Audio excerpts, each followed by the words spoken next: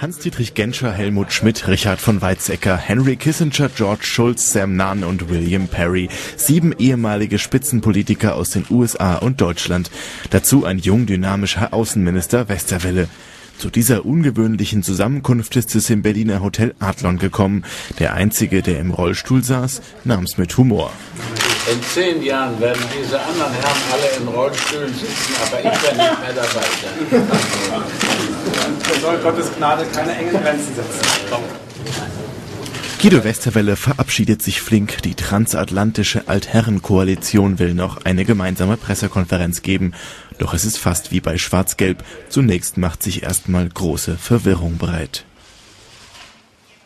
Also es ist eine zweisprachige Ko Pressekonferenz und dann empfiehlt es sich doch, dass alle Beteiligten mit Hilfe eines Kopfhörers die beiden Sprachen auch hören können. Das ist richtig. Ne? Meine Damen und Herren, wir sind keine Regierung, sondern wir sind private ehemalige Politiker. Und deswegen funktionieren bei uns die Sachen nicht so gut wie. Ich muss mich entschuldigen, aber ähm, äh, wenn Deutsch gesprochen wird, verstehen das alle im Publikum.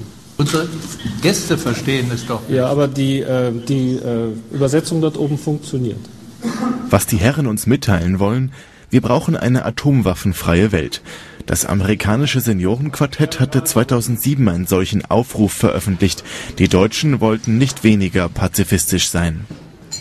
Dieser Aufruf, der aus Amerika uns erreicht hat, der äh, hat uns in Europa vorangebracht. Hier gibt es auch alte Leute, die sich an die frühere Zeit erinnern, dass man vernünftig, zusammen, vernünftig zusammenarbeiten kann.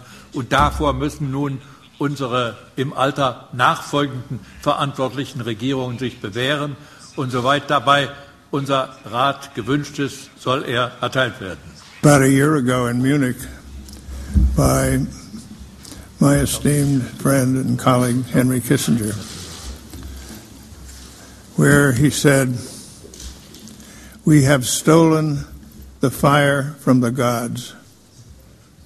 Can we learn to control it before it consumes us?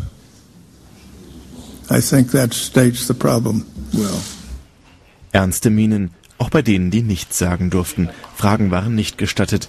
Die seltenen Gäste mussten schließlich weiter zu einem Treffen mit Bundeskanzlerin Merkel hier ist es ja wenigstens nicht glatt.